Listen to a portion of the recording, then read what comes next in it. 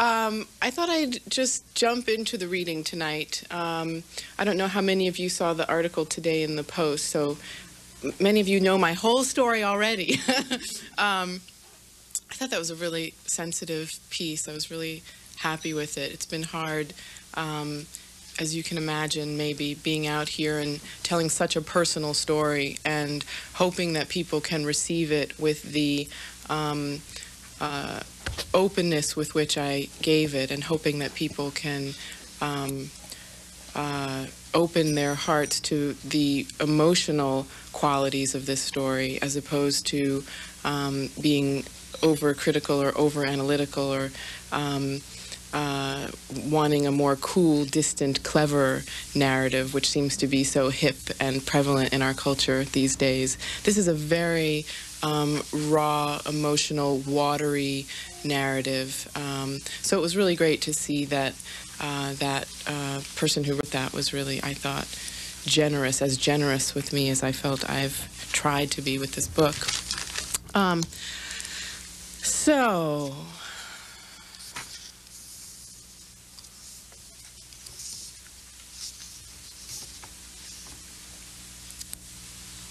When they meet in 1965 in Jackson, Mississippi, my parents are idealists. They are social activists. They are movement folk. They believe in ideas, leaders, and the power of organized people working for change. They believe in justice and equality and freedom. My father is a liberal Jew who believes these abstractions can be realized through the swift, clean application of the law. My mother believes they can be cultivated through the telling of stories, through the magic ability of words to redefine and create subjectivity. She herself is newly black. She and my father comprise an interracial couple. By the time they fall in love, my parents do not believe in the uber sanctity of family. They do not believe that blood must necessarily be thicker than water, because water is what they are to each other, and they will be together despite the objection of blood. In 1967, when my parents break all the rules and marry against laws that say they can't, they say that an individual should not be bound to the wishes of their family, race, state, or country. They say that love is the tie that binds, and not blood. In a photograph from their wedding day, they stand brown and pale pink, inseparable. My mother's tiny five foot one inch frame nestled bird like within my father's protective embrace. Fearless, naive, breathtaking, they profess their shiny outlaw love for all the world to see. I am not a bastard, the product of a rape, the child of some white devil. I am a movement child. My parents tell me I can do anything I put my mind to, that I can be anything I want. They buy me erector sets and building blocks, tinker toys and books, more and more books. The Berenstein Bears, Dr. Seuss, Hans Christian Andersen. We are middle class.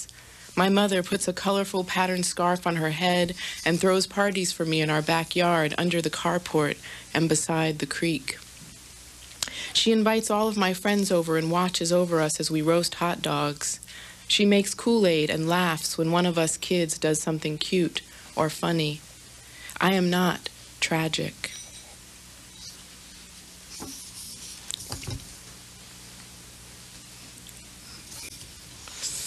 So the book um, starts off with my birth in Jackson in 1969 and then uh, goes all the way through high school, going back and forth from a contemporary, like today voice, back to those memories. Um, and um, basically what happened is my parents divorced when I was eight years old, and then my mother moved across the country, and so I spent most of my life as a young person shuttling back and forth between my father's um, uh, more sort of upper middle class, predominantly Jewish, suburban Westchester, New York kind of home, and my mother's more um, African American, artistic, bohemian, um, more middle class, working class San Francisco community.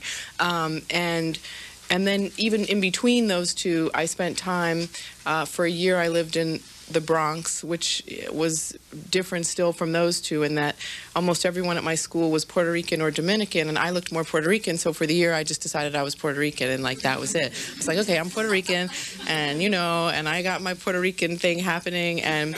Um, and so the book is really um, the first. The title that I worked with for a long time was was morphology. Morphology, memoir of a shifting self, um, because it's not just about black, white, and Jewish. It's not just about race and religion. It's about um, being a child of divorce. It's about being a child who has moved from different worlds and through different worlds, the way almost all of us have, and the way we continue to have to. Um, and it's about um, piecing together uh, aspects of ourselves that seem so disparate. Um, and it's about um, trying to understand the ways in which race and culture are performative, that we act out um, what we think we're supposed to be as a black person, as a Jewish person, and, and that those things don't define all of who we are, and that there is so much more behind the mask um, of culture and identity.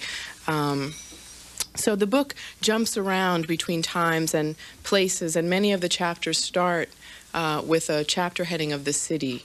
Um, so this is from Brooklyn, and this is after Jackson, Mississippi, which is a little bit of what I just read. Um, and this is after my parents' divorce. Okay, so I don't know. And I also try to tell each of these stories in the voice of the child that I was. So there are different ages that you can hopefully pick up on uh, at different places. I don't know.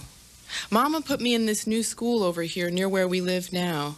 She and me in three rooms the size of one of the floors of our old house, mine and Mama and Daddy's house. We went to the little office on the first floor with Mama's new boyfriend, and she filled out the papers, and the people looked me up and down and shuffled some other papers, and then Mama said I needed to be in the gifted class, and the woman behind the desk looked at me again, harder, like she was trying to see through to my brain. And then I was in a classroom with Mrs. Leone helping her staple orange leaves made out of construction paper to the wall around the blackboard.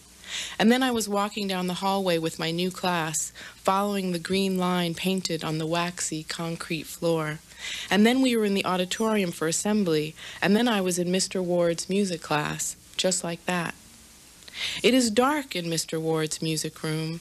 There is wood on the walls, which is weird because our school, PS 321, is made of cement and other hard materials like metal, which is in skinny bars on the windows. Mama's new boyfriend says this is because our school was built in the 50s when they thought you could prepare for an A-bomb. Mr. Ward is handing out instruments from a big cardboard box next to his piano bench. He tries to distribute them evenly throughout the room, so it's not just the kids in front who get the good instruments. But there are way more of us than there are cymbals and drums and guitars, so most of us get plastic yellow recorders with one part missing. I feel out of my element here in Mr. Ward's class, like everyone knows how to make music but me, even though I can tell by the way the other kids are banging and blowing that this is not true. It is true that I am much more comfortable in reading class, where I whiz through the SRA colors like a bat out of hell. I'm in the third grade, but according to the purple and red folders I am up to in SRA, I read at the seventh grade level. I get 100s on all of my spelling tests, and Mrs. Leone puts them up on the closet doors next to the SRA folders at the back of the room. Sometimes when I am in her class, I feel like it's just me and her in the room and none of the other kids is there at all. It's sort of like that in Mr. Ward's class, too, except I don't feel like I'm here with Mr. Ward. Here I'm just alone with all these other kids with names and faces, but not much else. When Mr. Ward tells me to, I put my fingertips on a couple of the holes and blow through the mouthpiece of my recorder. I try to focus on what Mr. Ward is saying, but he seems bored and aggravated, especially by the boys in the back who won't be quiet and do what he says. When everyone starts playing their instruments and making an awful, loud, horrible noise that hurts my ears, Mr. Ward just spaces out and looks at us like he doesn't know how we all got to be here together in the basement of some public school in Brooklyn. Brian Caton is sitting with his legs crossed on my left, closer to the music stands by the door, beating on a drum. If I close my eyes, I can almost smell him. Brian has milky white skin and red freckles. He has sandy brown hair that always falls in front of his eyes like Linus on Charlie Brown. Brian lives way out in Bay Ridge somewhere, but his parents own the dry cleaning store across the street from school, the one next to the pizza parlor where we all go for lunch. If I walk to school early enough, I sometimes see Brian getting out of a black car with his parents. He crosses the street and goes into school while his father rolls up the gate in front of the cleaners. Brian Caton is the boy I like. I don't know why I like him, I just do. I like the way he is kind of tough and has a lot of friends and talks in a choppy, offhand way, like he doesn't care if anyone is listening. I like the way his parents give him money when he asks for it. I like it that his mother and father are right across the street. The one time I go into Kate and Cleaners with Brian at lunchtime, it is all warm inside, and his mother smiles when we come in and asks him why he is late, like she was worried. For a split second, I imagine myself back behind the counter with her, getting lost in all of the hanging skirts and blouses and suits, breathing in all those fumes and pressing my cheeks against the silky plastic bags. I imagine that she tells me to stop, that I could hurt myself, in that same worried voice. I tell Sarah that Brian Caton is the boy I like. Sarah is my friend, but I don't trust her all the way. This year I'm paranoid. I don't trust any of my friends all the way. Not Donna, not Siobhan, not Jamie, who I sometimes meet on the corner in the morning so we can walk to school together. I trust Karen, but she lives by my old house, and now she goes to a private school six blocks away, and I never see her. I'm never sure what the new friends are going to do, if they're going to stop being my friends one day for no good reason, or what. So Sarah tells Brian, and then Brian tells me in front of his friends after school one day when it is cold and there is dirty gray snow on the ground and we are all leaving to go home, that he doesn't like black girls. Brian Caton tells me that he doesn't like black girls. Brian Caton, the boy that I like, tells me that he doesn't like black girls and I think with this big whoosh that turns my stomach upside down and almost knocks me over, is that what I am? A black girl? And that's when all the trouble starts because suddenly I don't know what I am. And I don't know how to be not what he thinks I am. I don't know how to be a not black girl. My stepmother is a not black girl. When she picks me up on Fridays after school in her tall brown suede boots for the weekend, I wait inside school a little longer until I'm sure Brian is outside and will see me go over to her and be hugged by her. I want him to see her take my backpack from me and take my hand. And I want him to see me get into her car. And when my grandma Miriam comes to pick me up on other days, I do the same thing. I make a big fuss in front of school so that he will see that I am related to not black girls. I start to brush my hair straight a hundred times every night before I go to bed, like I see Jan Brady do on the Brady Bunch. Jan Brady is a not black girl. I roll my hair in pink rollers when I'm at my grandma's house so that I will have bangs, so that my hair will look more like the not black girls in my class. And I tell my stepmother that I want the doll that she says I should want, because all girls want dolls. And even though I have not ever had a baby doll, and I'm not at all interested in a plastic baby that eats colored mush and then poops it back out, I think this must be part of being a not black girl. At school, Mrs. Leone tells us that we, our class, are going to put on a play for the whole school. She tells us this from the front of the classroom where she walks back and forth looking out at our faces. Some of you will make the sets for the show, she says. Some of you will make costumes. And some of you, she says, looking at me, will act.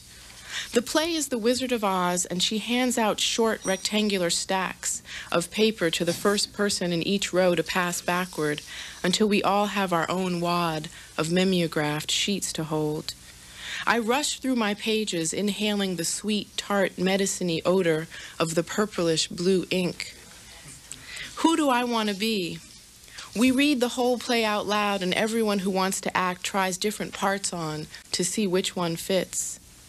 Mrs. Leone has me try the lion, Auntie Em, the wizard himself. I do not notice that she only has not black girls read the words underneath Dorothy's name. I am too excited by the idea of acting, of reading out loud and making my voice change to match what I think each character should sound like. By the end of class time, it is all decided. I will play the Wicked Witch of the West. I don't tell my mother too much about the play, and she doesn't ask. It isn't a big deal, I say, hoping she won't see through my mask of nonchalance. I don't want to hurt her. I don't want to lie either, but how else am I going to convince her not to come to see me on play night? How else can I explain that Brian Caton doesn't like black girls, and if she comes, he will definitely know that I am, in fact, a black girl, and all of my other efforts to be a not black girl will be washed away? How else can I stay with my mother and still leave? On the night of the play, as I am trying on my black witch's cape and pointy hat for the umpteenth time, I beg her not to come. I will be too nervous, I say. I won't be able to remember my lines if you are there, I say. Please, Mama, don't come. She looks at me strangely, like the woman in the office did, trying to see through to my brain. I hold my breath, but she doesn't push. She doesn't um, she takes me at my word, and I go free, alone, out into the night. When I look out from the stage, I can make out my grandmother's white face in the dark crowd. I think, Mama is not here. Mama is at home. I think surely Brian will see my grandmother. I think surely Brian will like me now. At the end, when all the parents and teachers stand up and clap for us, I feel an unexpected sadness come into my body, a heat inching up from someplace underneath the skin on my face.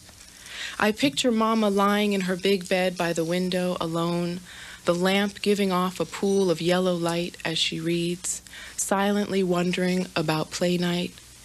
Even though everyone says I was good, my mama, the one with the most important voice, can never say this to me. Shame sticks to me like sweat. After their divorce is final, sorry, I've made you all now move and come back.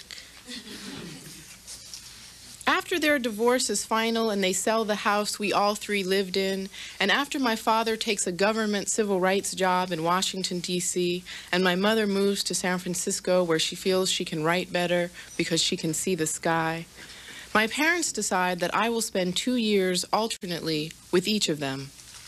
I don't know how they come up with that number, two, as opposed to one, or why they didn't simply put me in junior high here and high school there.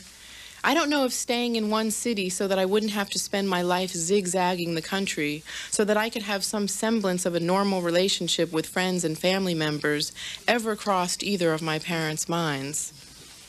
What their decision means is that every year of my life I have to move, change schools, shift.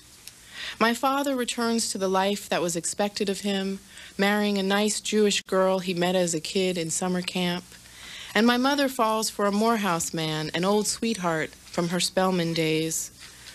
For them, there is a return to what is familiar, safe, and expected. For me, there is a turning away from all of those things. Now, as I move from place to place, from Jewish to black, from DC to San Francisco, from status quo middle class to radical artist bohemia, it is less like jumping from station to station, on the same radio dial, and more like moving from planet to planet between universes that never overlap. I move through days, weeks, people, places, growing attached and then letting go, meeting people and then saying goodbye.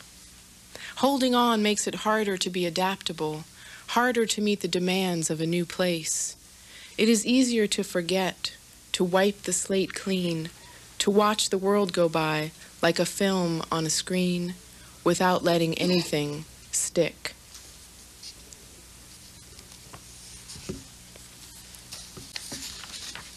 So this is a section from uh, San Francisco. So that was Brooklyn, now we're in San Francisco.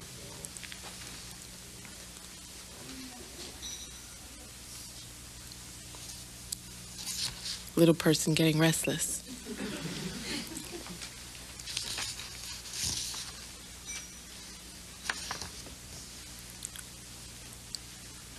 Lisa Green in Mrs. Thompson's math class, six seats behind me, staring bored out the window.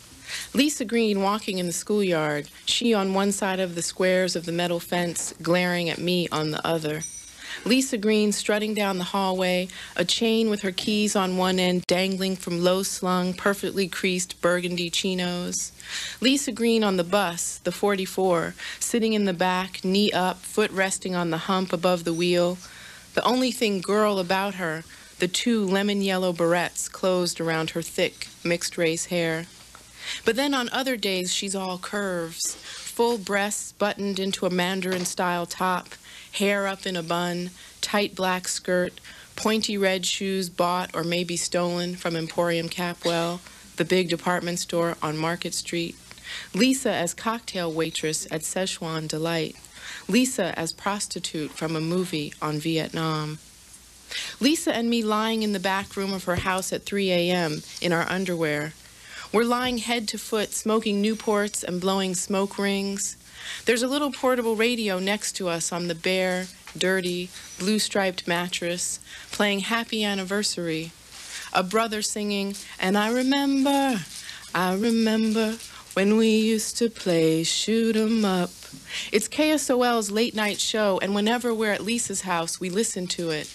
To the DJ with the low, smooth voice, playing old love songs from back in the day. Songs that Danita remembers when they come on the radio while we're in her car. The Burgundy Cutlass Supreme. Songs that make her shake her head and say, Damn, I remember when that came out. I was in high school, dating such and such a boy. It's dusty and dirty back here in this room because Lisa's mother never comes back here. And the only time it gets any use is when Lisa or her sister brings friends to do stuff they can't do out in the open, like smoke weed and drink wine coolers out of brown paper bags. Back here, there isn't even a TV, like the one that's always on in the front room, where Lisa's tiny, light skinned mother sits watching her stories, As the World Turns, One Life to Live, and All My Children. And where we sit, me, Lisa, her mother, and her sister Lori, some Saturday mornings watching Soul Train with Don Cornelius and American Bandstand with Dick Clark. Back here, there is only the radio playing love songs and a blue bulb Lisa stole from Lucky's screwed into an old lamp base. When we're back here, Lisa and I talk about people. The skinny black girl with the nasty scar down her face, that red-headed boy who comes to school late, not like 20 minutes late, but like after lunch late. The cute Mexican boy with the shiny black hair, Chris, who has a crush on me. Susan, Lisa's best friend who used to threaten to beat me up, way back before Lisa and me became friends, and Lisa put a stop to all that. We don't talk about Lisa and her mother and sister being poor. We don't talk about how they all three sleep on one lumpy mattress, how when Lisa's mother sends us to the store for eggs and milk, she gives us food stamps, how the only heat in the house comes from the oven. No, I tell her about Michael and what cologne he wears, one man show, and all the gory details of what we do when we fool around. She asks me if I like to suck it. I don't know what she means at first, but then I'm lying to keep up. Yeah, yeah, I like to do that, I say, but it's too big. Lisa cracks up. Too big? Girl, don't you know it ain't ever too big? Lisa is short, much shorter than me, but in her family, she is the tallest and the darkest. Her mother's head reaches maybe to my breastbone, and with Lori, it's the same way. Even though it's clear that they do, I don't think to myself that Lisa and Lori must have different fathers. I guess because we don't ever talk about fathers. Neither of us has one that's anywhere around at the moment, and in her house, the whole idea seems like a moot point. Lisa's is a family of women. No man ever comes home, and the only time men are mentioned is when Lisa's mother says something in Spanish about all the boys calling Lisa on the phone and how Lisa better be careful with all those boys. She don't want no bebe. Lisa has lots of boys after her because she's cute and fast. She has a big butt and big breasts and a pretty smile. All of her boyfriends are way older. They're in high school or working already. Tonight, Lisa's talking about Joe, Marvin's brother, and how she's through with him. Lisa says she's leaving Joe because he's stingy. He doesn't give her enough. I nod and say, Yeah, you better cut him loose. But I'm not really sure what Joe's not giving her money, sex, attention. Lisa doesn't need any more clothes. She's got a whole closet full of red and fuchsia and yellow outfits from Emporium and Penney's and Miller's Outpost, stuff she steals on weekend trips to Serramonte. Lisa's really good at stealing. She walks around the store picking skirts and blouses off the racks, holding things up to her body in front of mirrors like she's going to buy them. The security guards don't pay her any mind because she calls attention to herself, asking me all loud in front of them if I think whatever she's looking at is cute or will it match the striped jacket she has at home. When they turn around, she stuffs it into her bag or up under her shirt, then tells me to come on and follow her out the door. After Happy Anniversary goes off, and then When We Get Married does too. Lisa asks me if I see myself getting married, and to who, and how do I want to live. For a second, I'm surprised, taken aback. I haven't been in my own mind thinking thoughts about boyfriends or what I want to be when I grow up. I've been watching Lisa's full lips blow smoke rings, the way she holds the cigarette, not between her fore and middle fingers like, a guy, like girls are supposed to, but between her forefinger and her thumb like a guy. I've been watching her eyes move beneath the lids, noticing how naked they seem without the heavy black eyeliner she usually wears. Luckily, Lisa breaks back in before I can answer. She says she wants a big house and cars and a man who has bank. When she says bank, she slaps one hand top down onto the mattress for emphasis. He gotta have bank. It's cold, and so I push my legs a little closer to Lisa's torso, feeling for the warmth there. I think of Dynasty, the show we watch on Wednesday nights with Krystle, Alexis, Blake, and Bobby Joe. I think of the opening credits when they're flying over the big houses and swimming pools, the circular driveways full of fancy cars, and then the writing in cursive, like on the cover of the Harlequin books Lisa reads Dynasty. I can't imagine being married, and I tell her so. My mama's not married, and she says it's better that way. To have people come to visit you when you want to see them, but that to live together all the time is crazy, unhealthy. I guess that sounds right to me, and I tell Lisa that. It would be okay if I was alone with my man coming to see me when I wanted him to, I say, not married. As for bank, well, I don't know. Lisa says, Girl, you crazy. And I shrug, pull back a little, and take a drag of my Newport. The menthol in the smoke hits my lungs like a little stab, but I don't put it out. The truth is, I don't really think that far ahead. Lying next to Lisa on the dirty mattress in the cold room is enough for me. It fills all of my senses, and I don't think about hardly anything else. Maybe somewhere in the back of my mind, I'm thinking about what my mother would say if she saw me. I'm wondering if she could imagine what Lisa's house is like and what we do back here in this little room. It's not like a whole conscious thought or anything, but somewhere I feel like maybe I want my mother to find out that where I am may not be very safe, and I want her to tell me to come home. I want her to tell me that I can't go so far away from her while I'm so young. I can't get on the 44 late at night and ride to the other side of San Francisco to spend the night with people she doesn't know, with people she's never seen. But that's just a feeling I have, some picture in my mind that has no words, that's buried beneath everything else, under Newports and being like Lisa. I don't want to think about that, so I just let my eyes close when they want to, lift the cigarette to my mouth every few minutes, and let my body vibrate from the sounds on the radio. Even though I have different feelings underneath, it still mostly feels like I love it back here, the way it feels like we're in our own spaceship, gliding through a quiet, sleepy universe. The way I feel so close to Lisa and not alone. The way her toughness, how she always seems to know what she wants, makes it easier for me to lope along at her side, pretending to move in ways that come natural to her, to Lisa Green, a half Spanish girl living with her mother and sister in a tiny rundown house in Hunters Point, but not to me.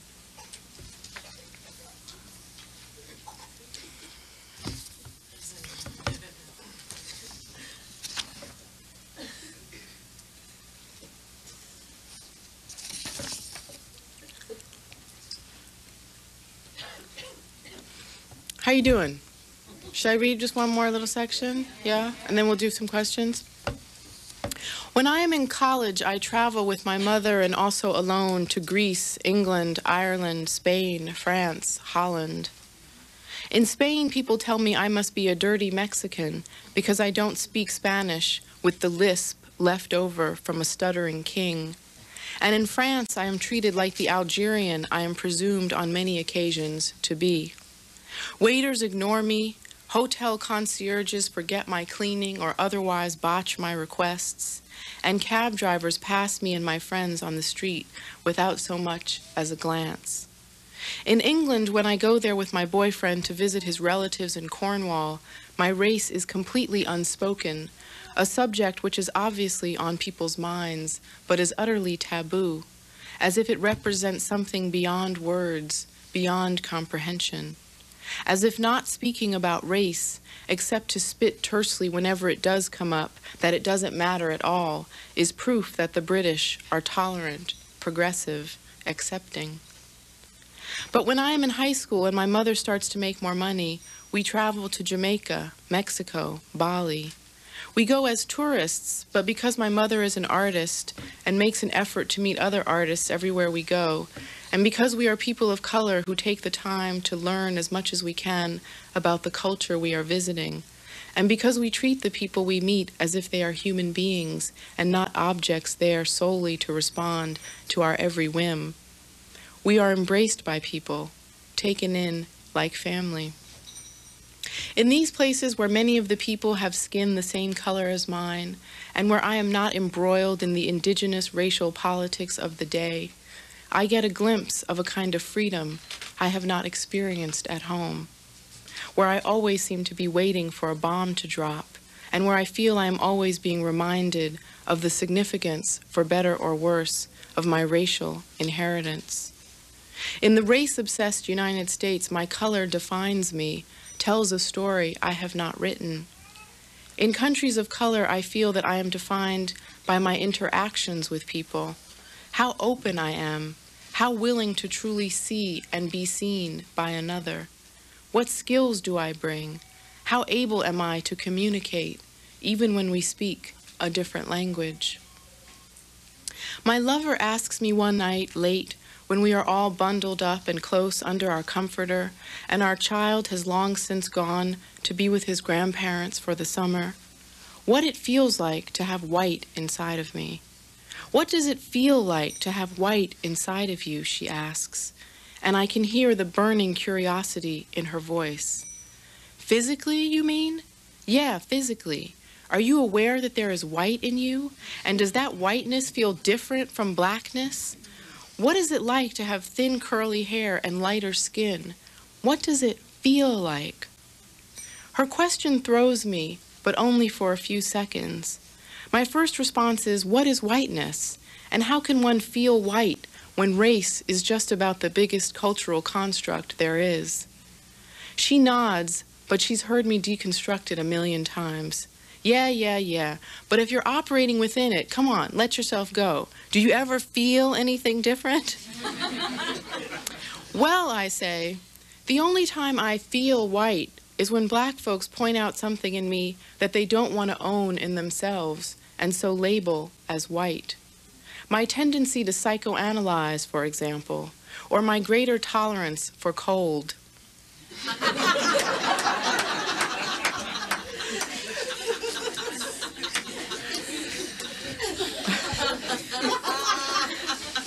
my hard earned sense of entitlement is another example, or my insistence on physical beauty wherever I live which ironically comes from the black side of my family tree.